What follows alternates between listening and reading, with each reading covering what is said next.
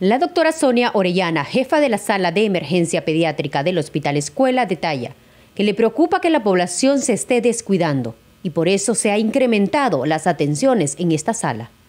Que eh, padres de familia estamos bajando la guardia no estamos tomando todas las recomendaciones de las cuales nosotros tenemos que, tener, ¿verdad? Entonces, eh, lastimosamente, el día de ayer a las, recibimos a las siete y media dos niños, ¿verdad?, de la ciudad de Comayagua, que supuestamente ya en Comayagua ya se ha erradicado un poco la enfermedad, pero venían eh, ya en una situación crítica, de los cuales uno falleció y el otro está también en una situación muy crítica. La doctora Orellana igual hace énfasis que ahora se agrega que los pacientes están padeciendo de otros síntomas por dengue.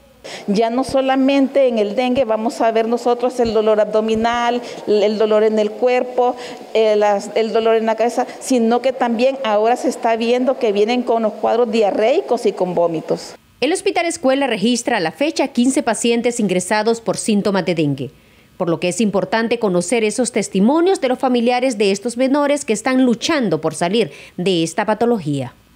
Está demasiado grave porque ayer se le convulsionó a mi mamá.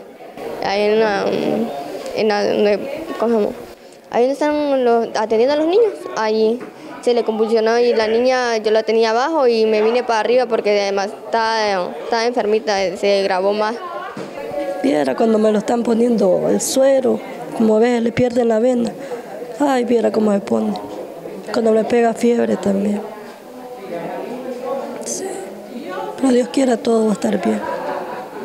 Las atenciones pediátricas solo aquí en el Hospital Escuela han incrementado un 50%. El llamado que hacen los galenos de este centro asistencial es que por favor los padres de familia no automediquen a sus niños, ya que vienen con diversos síntomas que a la larga les complica aún más.